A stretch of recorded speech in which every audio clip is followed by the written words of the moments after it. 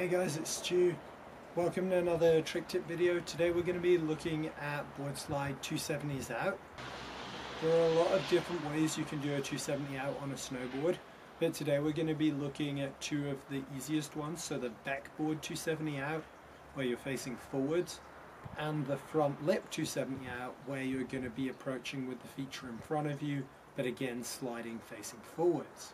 For both of these, I think it's a little bit easier if you slide with your weight on your back leg, and it just makes the popping the 270 out a little bit easier.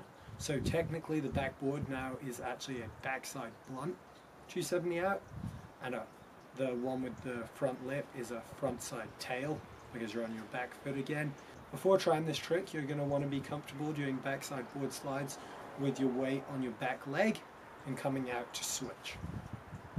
Before trying this trick, you're going to want to be comfortable doing front side lip slides with your weight a bit on your back foot and popping the board out to your switch stance, so riding away fake.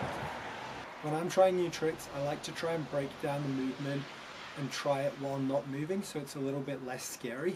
And for this trick, the way that I'm going to do that is just do some board slide 270s out just on the ground, standing still.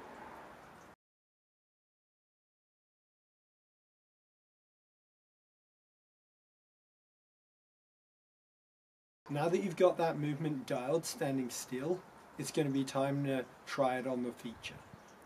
Like with most tricks, when you start trying this trick, you're going to want to find yourself a nice small box or tube that's not too scary to try it out on.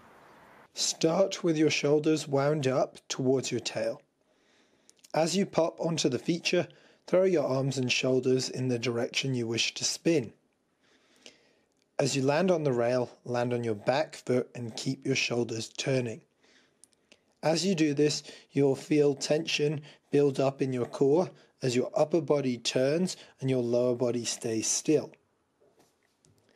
As you approach the end of the feature, give a little pop and turn your head in the direction you wish to spin and release the tension that you've built up and that will allow you to spin.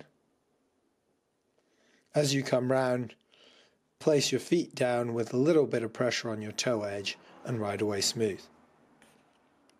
I hope this video has been helpful and if you're still struggling with this trick, try and get one of your friends to film you and just send me the video over on Instagram and I'll do my best to help you out.